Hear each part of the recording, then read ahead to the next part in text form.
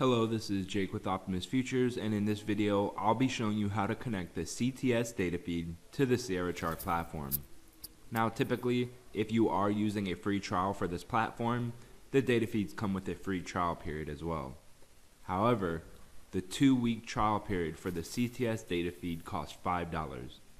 Because of this fee, the setup process is slightly different from the other data feeds, such as Rithmic. This tutorial will assume that the user is a customer or potential customer of Optimus Futures and is initiating the demo through our website. After you have signed up and registered for the demo, you will be brought to this thank you page. From the thank you page, navigate to the email that you registered with on our website.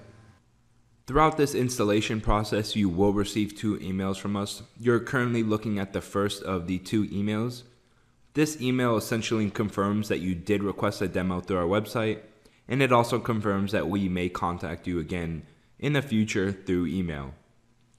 To confirm this email, simply click on the blue highlighted link where my cursor is currently located. And once you confirm, you should receive another email from us very shortly. So head back to your email inbox, and this should be the second email that you receive from us and we have the steps laid out for you. First, you'll need to download the platform. So if you click on this first link, simply click on the green link right here, and this is the installation process for the Sierra Chart demo. Once you have downloaded the demo, you can head back to your email and click on step two to create your Sierra account if you don't already have one. From here, simply click on the create an account page and follow the process laid out for you. First, enter in your email address and follow the rest of the steps. Now, this next step is where this differs from the other data feeds that you can use on this platform. So, for this step, head over to step three in our email and click on the Connect to CTS link. Now, I suggested to navigate to this page because the process is laid out step by step for the user. As I mentioned before, I'll only be illustrating a demo account of a CTS trading account. If you are trading with a live CTS trading account, the first 12 steps on this website will be for you. If you are using a demo account, you can either follow my tutorial or you can follow anything after step 12. It is worth noting if you are trading live, you will need to have an already established CTS trading account through your supporting broker. If you do have this account already, you'll simply need to go through the instructions here and enable the CTS trading connection for $10 a month. Once you have enabled the CTS trading connection, you'll simply need to input the trading service routing as well as your username and password for the CTS data feed. Once you have that established, you can simply pick up the tutorial from step 12 and follow my instructional video. Now I also suggest navigating to this page because not only are the steps laid out for you, but the required links to activate your CTS demo are located here as well. That being said, I would first suggest clicking on the Sierra Chart Exchange data feed link. And from here, click on the third step. Go to Activate, Deactivate, Exchange Data Feed Features and Exchanges.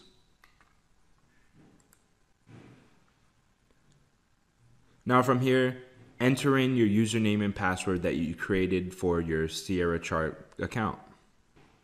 So once you sign in, you will be brought to this page.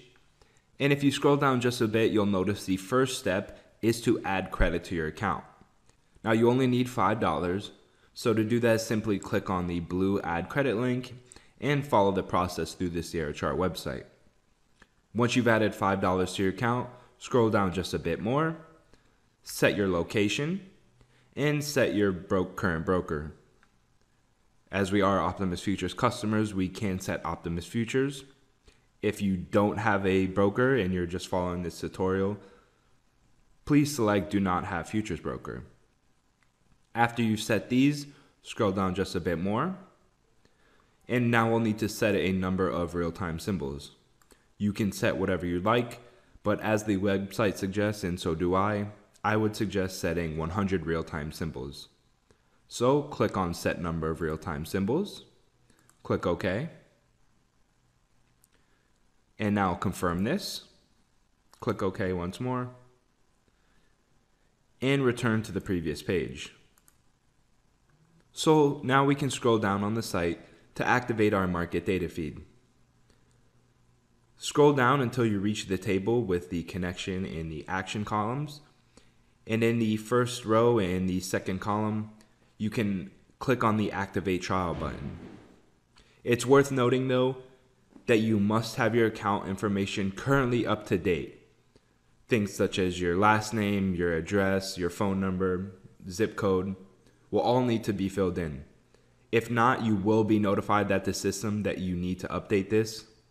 But I wanted to make sure that you knew beforehand before clicking this link.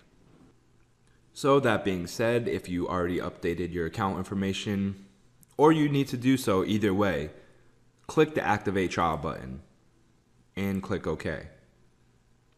Now from here, if your account isn't updated, under action result, it will tell you what needs to be updated if it is updated, we have activated our market data feed.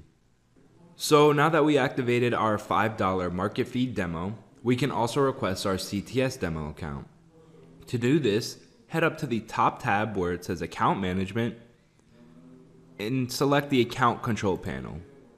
From here, scroll down to the very bottom until you reach Manage External Service Login Details and click on this link. And from here, we'll click on the very first tab, the Request Demo account, underneath the Demo CTS account, of course. Click OK to confirm. And we have now assigned a demo account for the CTS order routing service. You'll notice underneath the Action Result tab that we have been assigned an external service account. I would suggest either writing this down or taking a screenshot of this page as the external service account is important information. So now that we have a CTS demo account, we can head over to the Sierra Chart platform and establish our data feed within the settings. So now that we have the platform open, we'll need to establish this Sierra data market feed as well as a CTS data feed. To do this, head over to the top left hand corner and click on the File tab. Navigate your way down to Data Trade Service Settings and click on this tab. Now, underneath the Service tab, we'll need to search for CTS Trading, and it is in alphabetical order. Now, if you did select a live account, simply select your trading firm that you are trading with. As you can see, they have AMP, Dorman, Ironbeam, Phillip, and Wedbush. As I mentioned before, I am only trading on a demo account. So for those of you that are using a demo account, simply click on CTS Trading Demo. And that's it.